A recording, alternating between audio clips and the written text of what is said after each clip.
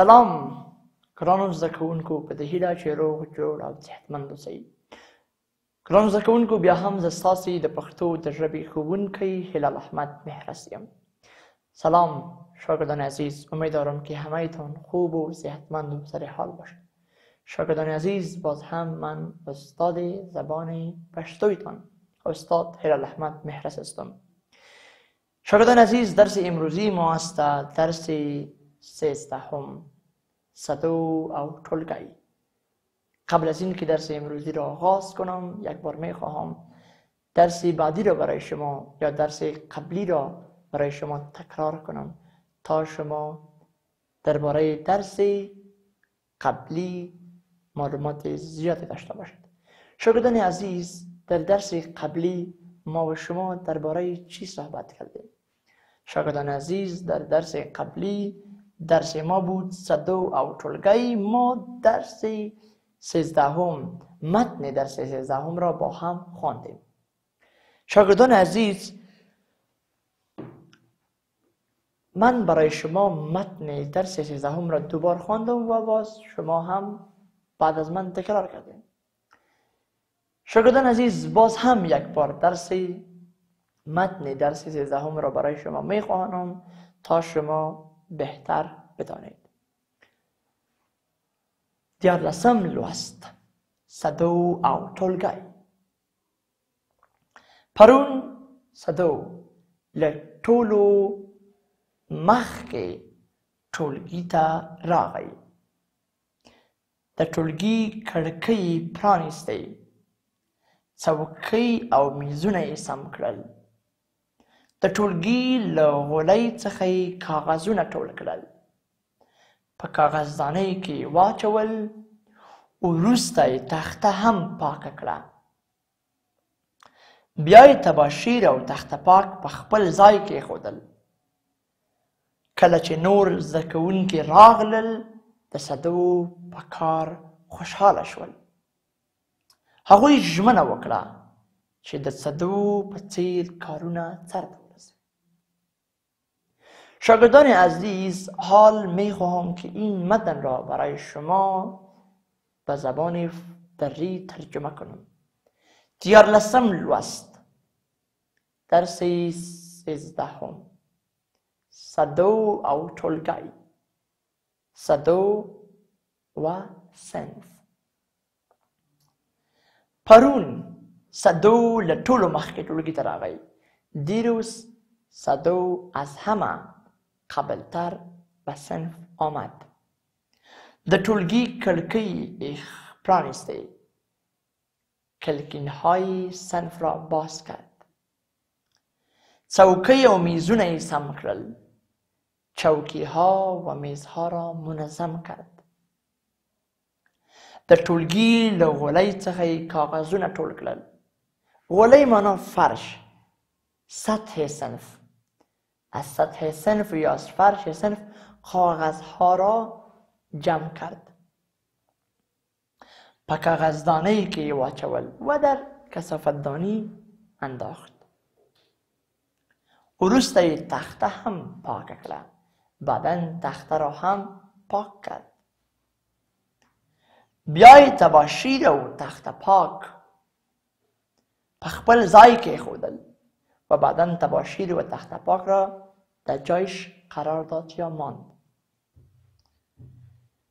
کله چې نور زده کوونکي راغلل وقتی که شاگردای دیگر آمدند یا دیگر شاگردا آمد صدو په کار خوشحال شد. از این کار صدو خیلی خوشحال شدند. هغوی ژمنه وکړه. آنها وعده کردند.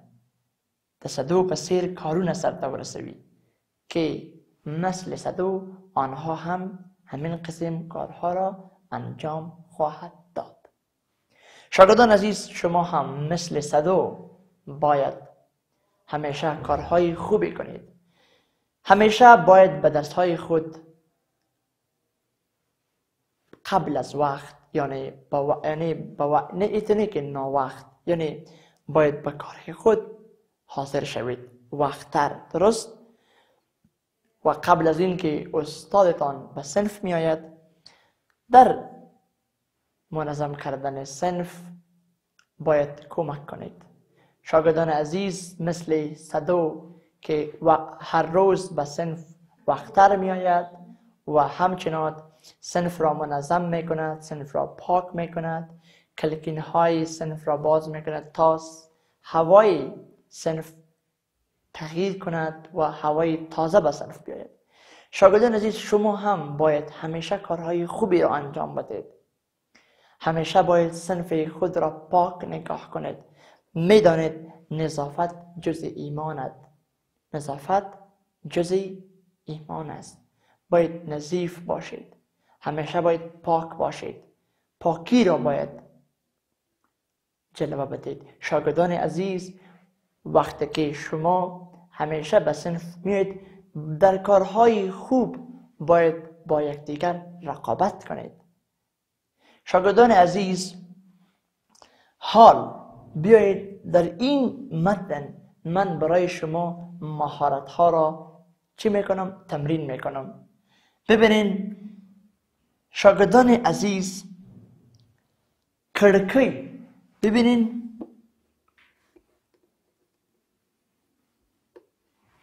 کڑکی اسم مؤنث است با یای لکیدار تمام شده۔ شاگردان عزیز ببینین و امی فعلشان چی است؟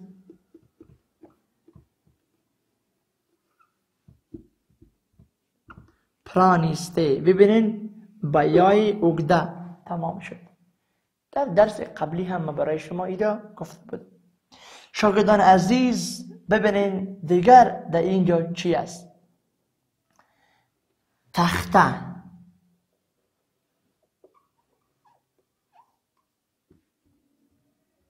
تخته. پاک کړه. پاکه کړه. ببینید تخته به هی شده فعل هم به هی در زبان پشتو این همه چیزها مهم است. روی مهارت هاست. با واسطه این همه مهارت ها شما می توانید که زبان پشتو را به زودترین فرصت بیاموزید. شاگردان عزیز ما در درس قبلی برای شما این همه چیزها را گفته بودم. و شما باید این همه چیزها را تمرین کنید. متن درس را که برای شما اینجا من خواندم و دری هم برایتان ترجمه کردم شما این متن را هم باید با خود تکرار کنید و این مهارت ها را شما در این دروس پیدا کرده می توانید شاگردان عزیز حال بیاین مرکه. صدو د صدو پلار پدر صدو و صدو. در میان صدو و پدر صدو یک گفتگو است. ببینیم چی میگه. د صدو پلار. پرون سوک تر ټولو د مخه ټولګي ته ولاړ. دیروز کی از همه قبل تر به صنف رفت میدانید بله صدو رفت. زه پرون تر ټولو د مخه ټولګي ته لاړم من دیروز از همه قبل تر به صنف رفتم. د صدو پلار د ټولګیوالو تر راتلو د څه وکړل؟ تا آمدن همصنفیانت چی کردی صدو. کړکۍ می پرانیستلې پلارا مانا پدر. کړکۍ می پرانیستلې ها را باز کردم. چوکی و میزونه می سم کړل چوکی ها و میزها را سم منظم کردم. بیا دې څه وکړل باش چې کړی کاغذونه مې را ټول کړل تخته مې پاک کړه کاغذها را هم از سطح صنف جمع کردم و تخته را پاک کردم. شاگردان عزیز ببینین صدو چقدر کارهای نیک و کارهای خوبی را انجام دادن. شما هم باید کارهای خوبی را انجام بدید. وقتی که به صنف میایید باید از همه وقتتر به صنف بیایید. هیچ وقت بعد از استاد در صنف نبید. یعنی شاگردها باید از استاد کده قبلا به حاضر شوند. و وقتی که به صنف میایید شاگردان عزیز در صنف شوخی نکنید. قبل از اینکه استاد به صنف داخل می شود شما باید صنف را منظم کنید. باید چوکی ها را منظم کنید میزهایتان را منظم کنید صنفتان را پاک کنید. این همه کارهای خوب است و در کارهای خوب با همسنفی خود رقابت کنید. تا که استاد به صنف مید کتاب های خود را باز کنید و وقتی که استاد به صنف داخل می شود باید شما به احترامش استاد شوید. شاگردان عزیز حال بیایید. این متن را که ما خواندیم در صفحه 42 این متن را شما هم با خود تکرار کنید. و شاگردان عزیز در این متن. ببینید پرون اینجا ما شاگردان عزیز در این متن لغات هایی را داریم که باید من برای شما او لغات ها را امرای معنایش بنویسم. شاگردان عزیز پرون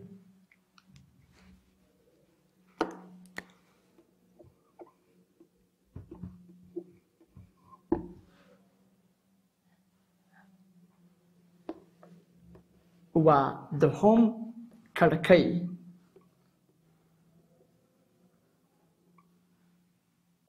څوکۍ.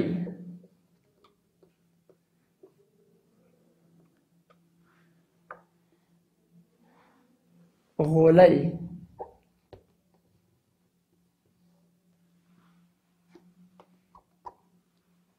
و همچنان ژمنه درست است شاگردان عزیز پرون این یک کلمه پشتو است یک لغات پشتو است پرون مانا دیروز کرکه مانا دریچه یا کلکین چوکی مانا چوکی غوله مانا فرش فرش یا سطح سنف یا یک جای یا اتاق. شمن مانا وعده. شمن مانا وعده. شاگردان عزیز این همه لغات هایی بود که در این درس ما با خود داشتیم. شاگردان عزیز این بود درس امروزی ما. امید دارم که درس امروزی برای شما مفید تمام شده باشد و شما چیزهای زیادی را آموخته باشید. شاگردان عزیز تا درس بعدی شما را با خداوند یکتا میسپارم روزتان خوش.